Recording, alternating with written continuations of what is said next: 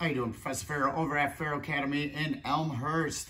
I am gonna uh, go over some a back take into collar choke into um, another option for a triangle, okay? So when I always teach my students to get these chokes here, even if we get the basic collar choke where I pull down and across, I usually say, do this, put this arm over and get the choke, okay?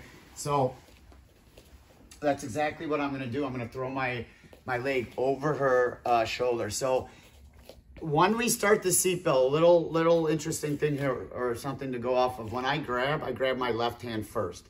If she peels off my left hand, which she should, I'm gonna have my right hand to come in for the choke.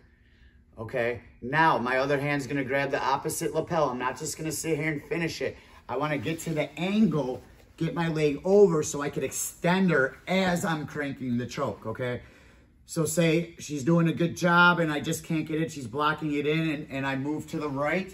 I'm gonna start grabbing my shin as I'm coming down, escape my hips out so she kind of falls right in the, the back of my knee and hamstring. I'm gonna lock the triangle, squeeze my knees. But what I like to do here to try to finish it, I like to grab underneath and do a, a, a crunch and I, I squeeze uh, the, the triangle, okay? So I squeeze, I like grabbing underneath because I want her chin to start doing this. And I come up and I put the, the squeeze on, okay?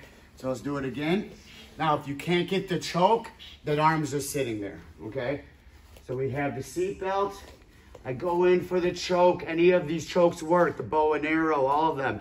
I go for the basic one. I come over, okay? Say she's just doing a good job or I can't, I don't have the best grip, all right? Uh, if she tries to come this way and grab, I'm gonna grab my own shin.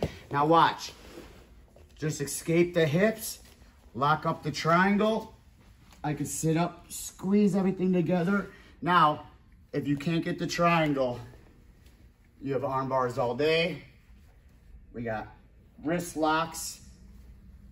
A lot of, lot of stuff you could get from here. Okay, so we'll just go one more.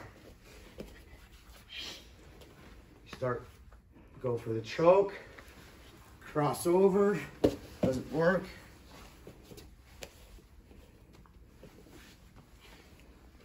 All right, um, so give it a try. I, I, that's something I love to do, especially throwing that leg over the shoulder. Grab your shin and, and they get stuck in that position. You can do a lot of stuff from there.